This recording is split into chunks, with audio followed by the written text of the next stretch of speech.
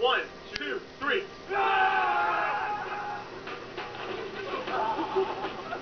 Wolfie!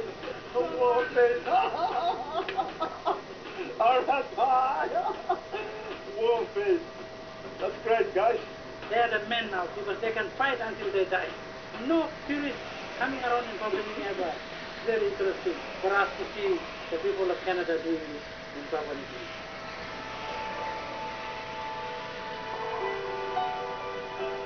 The sun is just starting to come up right now. We've broken camp and loading everything back on the boat because our plane should be showing up in probably the next hour. So we've got to get motoring.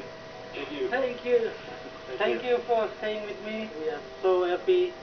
This is the first time that people from the other country come to our place and it is very uh, interesting and I, I, I cannot express with my heart but it is thank you for coming.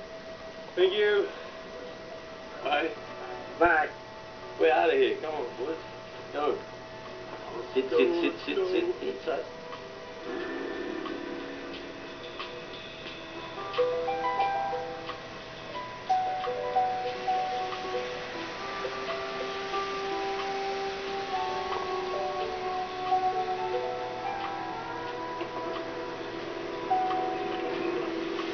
How can we send that any better? There he comes, banking around.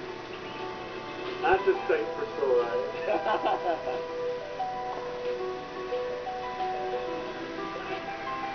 That's it. That's the last time we needed to officially end the Sepik adventure. How many times have we missed flights? Yeah. So this was the one flight that we did not want to miss. This is one place we couldn't miss.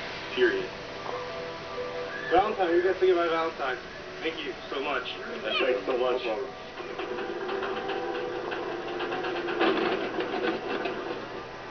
What? There's no mosquitoes in the plane. Wow.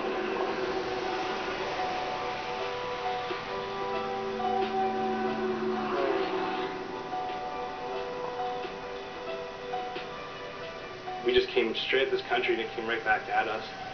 The trail wasn't marked out for us. The trail was whatever we wanted to make of it. We lived an adventure almost every single day. Those kind of adventures that we have to keep doing and keep pushing ourselves to really feel that we're doing a country like that justice. Once again, we're lucky enough to get that view from someone firsthand, but also as they see it. Papua New Guinea took something away from him, but he still had so much pride for it. He should feel proud because this is one hell of a country.